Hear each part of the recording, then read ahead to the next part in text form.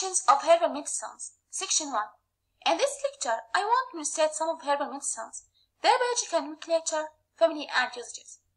Cardinal Its biological nomenclature is Hydrastis canadensis. Its family is Ranunculaceae.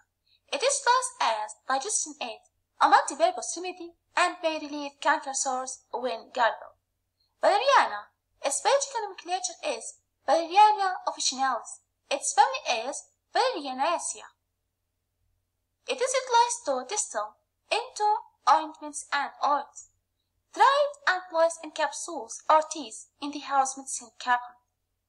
Areca palm. Its biological nomenclature is Areca catechu. Its family is Viperaceae. It is used for therapy of a mental trouble called schizophrenia and eye trouble called glaucoma as a moderate stimulant and like a digestive help.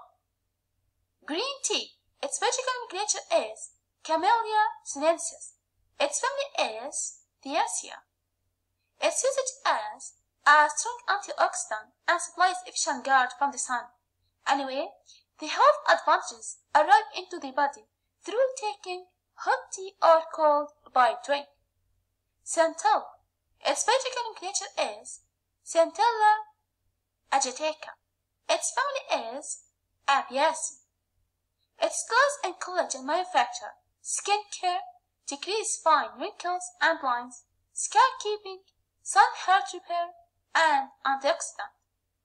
Chamomile. Its biological nomenclature is Matricaria chamomilla. Its family is Asteraceae. It's utilized in skin cosmetics to render as an emollient and to promote the tint of blonde hair. Carrots. Its biological nomenclature is Daucus carota.